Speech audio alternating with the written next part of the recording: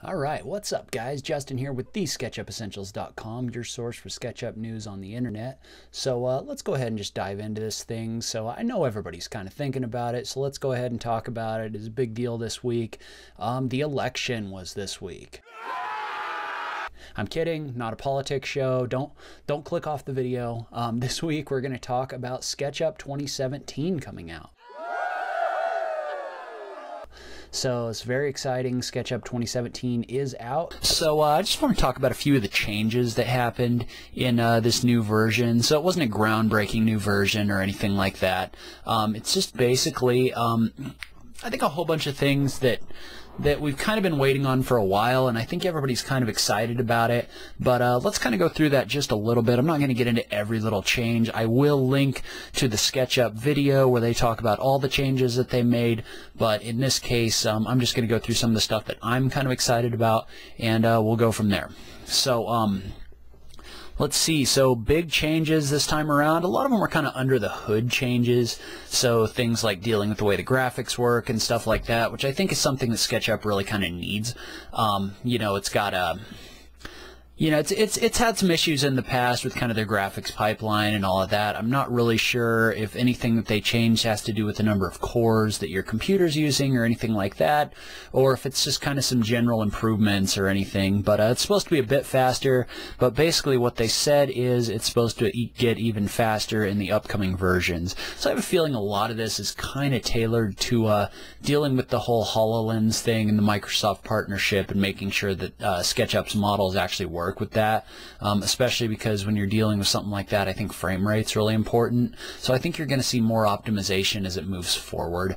But um, so that's that's uh, probably number one. Is there's going to be some you're going to see an increase in performance now. You're going to see more increase in performance later. So um, next thing, um, probably the biggest thing, at least for me, is they've kind of upgraded the offset tool. So uh, in the past, um, if you've worked with the offset tool at all and kind of offset some stuff, um, a lot of the time what would happen is you'd get a whole lot of overlapping lines and stuff like that.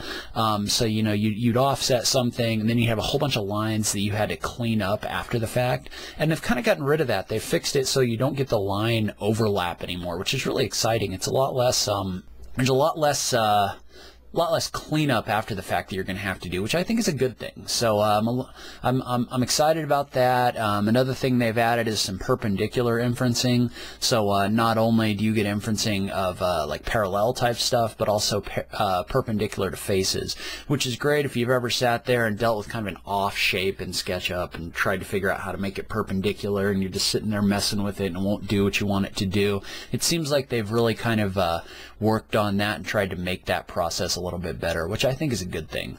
So um, let's see, what else do we got? Uh, locking rectangles to non-axis faces. So basically what they've got now is not only can you lock your rectangles to uh, faces on the red, green, or blue axis, but also if you've got stuff on that off axis, um, you can hold that shift key and lock to that, which is going to be a which is something that I think is long overdue, and I think it's going to make things a lot easier on everybody. Um, a lot of the time, you will have kind of a angled face or something like that, and uh, you know, you, you you want to just draw a rectangle across that and it hasn't been able to do that but now they've added that functionality which I think is going to be a good thing.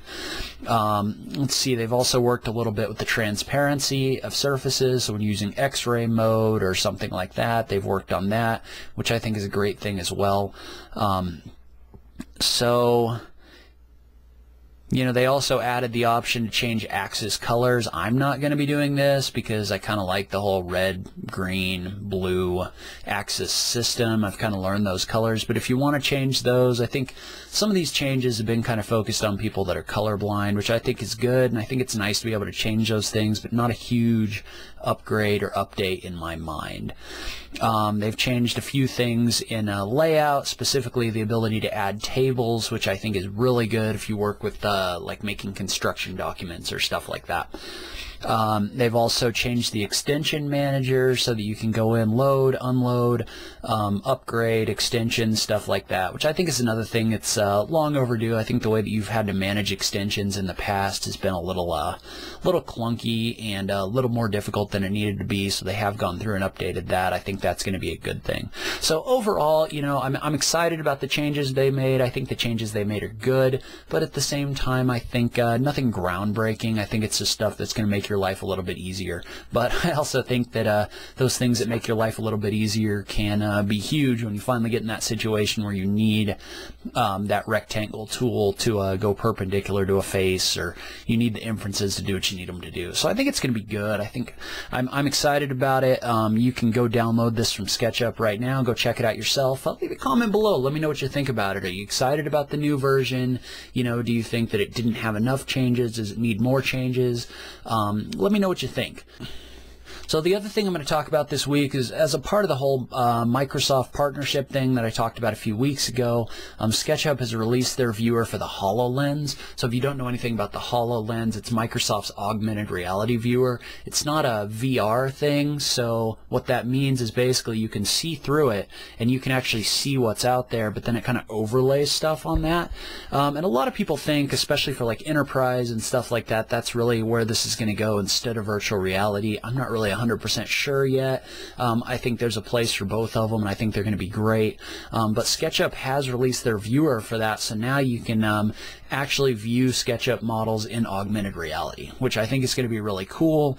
Um, you know, the nice thing about the uh, HoloLens is it's got um, in addition to overlaying stuff, they've also built in some of the sensors that they built for like the Kinect and stuff like that. So what that means is it can actually like track your hands and you can actually use your hands. You can do like pinch to zoom and rotate and stuff like that. So you can actually use your hands to move stuff around and it actually tracks your hands and it adjusts the model and you can have multiple people in there viewing the same model at once, which I think is going to be uh, really cool. So I'm, I'm cautiously optimistic about this. I think the problem right now is the whole system is very expensive. It's very difficult to get into. So I think uh, I think for right now, this is kind of entry level new stuff that um, for a lot of people is going to be um, it's going to be more something that's developed by companies, I think, than individuals, just because the barrier to entry is still a little high. But as they develop this, this, the technology gets a little less expensive. I think everybody's going to get into it. I think it's going to be huge for architecture and stuff like that. I am super excited to see where this goes with architecture and construction and stuff like that. I mean, the ability for everyone to sit around a 3D model instead of a set of flat plans and actually discuss it and move it around and stuff like that is going to be really cool.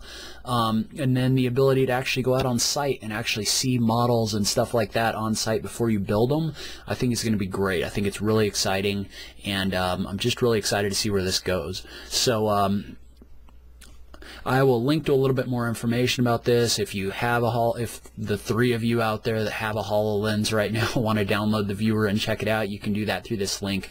But very excited about this. Very excited about the move into um, into augmented reality and virtual reality. So I think this is going to be a good thing.